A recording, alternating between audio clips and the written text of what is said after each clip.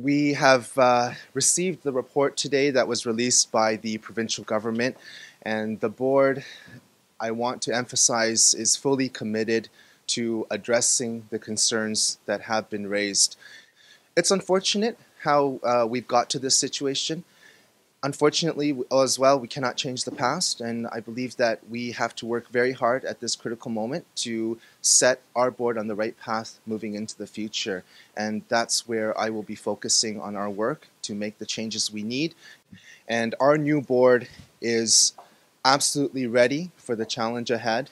We want to turn the page on issues that have plagued the board over the last few years.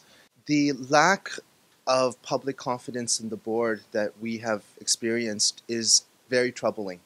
We are ready and willing to move forward. We are thankful to have now direction from the ministry. I heard very clearly when the minister spoke earlier today that they will provide recommendations and support.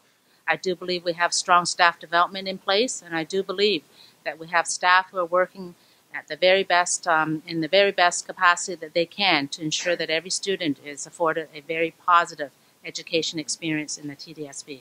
Morale in our schools and in our system plays a key role in the student um, in the success of our students. So if there is an impact on morale caused by any factor, whether it's uh, a culture of fear, or resources, or anything that they believe is in place, or not in place, uh, we need to address that.